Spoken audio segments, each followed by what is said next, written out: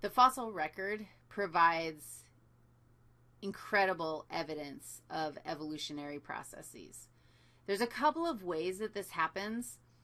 First of all, the, the principle of superposition basically says that in a rock, I don't know, like you've been places and you've seen lines of rock in rock that is visible because of a slice or a canyon or whatever. And each of those layers, it makes sense that the deeper the layer is, the older that piece of rock is. Because it makes sense that newer stuff would be laid down on top. And in fact, then you can see all sorts of really interesting, like geological processes, like this, whatever happened here, where we actually had a literal tilting of the earth, and you can see the lines and then the stuff that got laid down on top of it. And again, it makes sense that what's deeper is going to be older.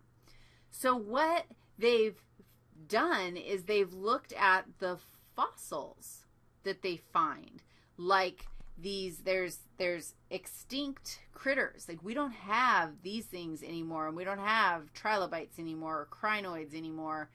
And so they look at these fossils of critters that no longer exist, and then they look at where they are in the rock layers.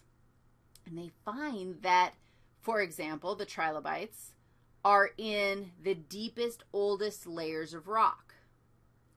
And they've found that if they go to another place on the planet, like a whole nother location, trilobites are found in that layer of time in the rocks, which indicates that they're older than the other things.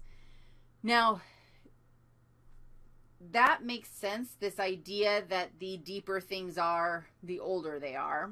But that has actually been confirmed by looking at half lives of um, radioactive isotopes that exist in all the stuff all around us all the time. And they've got ways of counting radioactive isotopes in rocks or um, artifacts or even like dead bodies. And they can see how much decay has happened. And they know how quickly the decay should happen and so, for example, if they're checking for carbon 14, they know that they know the amount of carbon 14 that should be in the atmosphere, so should be in the critter originally. They know that after 5,700 years, half of that carbon 14 will decay to carbon 12. Remember isotopes, they're just unstable and they they turn back into their more stable form. So carbon 14 will decay to carbon 12. Half of it will decay to carbon 12 after 5,700 years. They know how much carbon 14 is in a living sample of critter.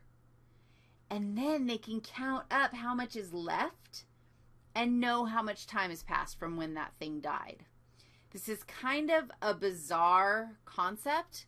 It's a little bit conceptually challenging, I think but they basically have a whole slew of radioactive isotopes that will decay over time and they have various amounts of time that it takes them to decay.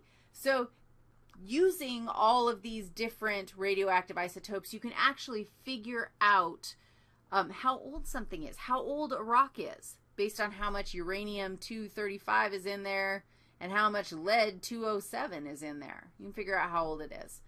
This concept um, is how we check the dates, but the superposition is kind of an easier way to conceptualize that. What we've found is that more primitive fossils are deeper and older. So we see through the fossil record that there has been speciation over time. Now, that's one piece of evidence that evolution has, that we've had macroevolution happening on our planet for a long time.